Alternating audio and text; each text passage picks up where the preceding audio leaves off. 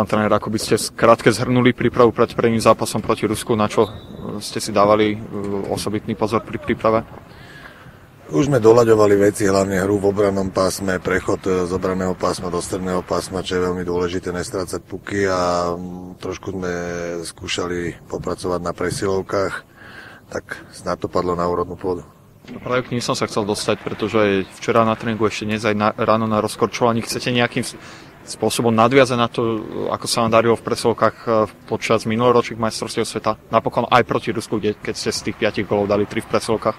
Jednoznačne áno, dnes e, pri hokeji 5 na 5 rovnovážnom stave nepadá toľko golov a nerovnovážne stavy ako presilovky, oslabovky e, rozhodujú zápasy, takže určite sa na to treba zamerať a boli by sme veľmi radi, keby sme nadviazali na minuloročnú úspešnosť.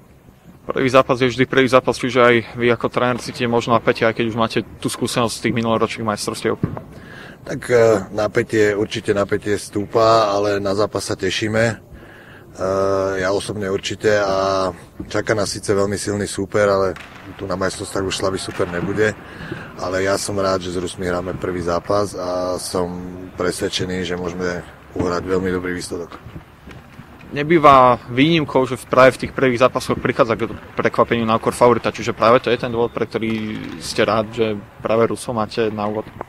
Áno, ja 6 rokov som pôsobil v Rusku, trošku ich poznám, ako, ako oni reagujú, ako reagujú tí hráči a myslím si, že e, som presvedčený o tom, že dnes môžeme prekvapiť ohľadom brankara a dvoch hráčov, ktorí nehrajú podľa toho pôvodného plánu, by ste mali hrať na 7 obrancov a 12 útočníkov. E, platí to a ktorí z tých 21 korčuliarov, ktorí tu nie sú, ktorí tu sú, nebudú hrať?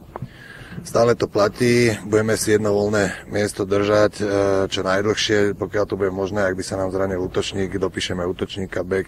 My dúfame, že sa nikto nezraní a potom sa rozhodneme, koho dopíšeme. A čiže dneska zostávajú na tribúne Mišo Beňo ako obranca a Alex Kupka ako útočník. A hľadom brankára? Ohľadom brankára do brany by mal ísť e, Samohlavaj a dvojka Kozlik.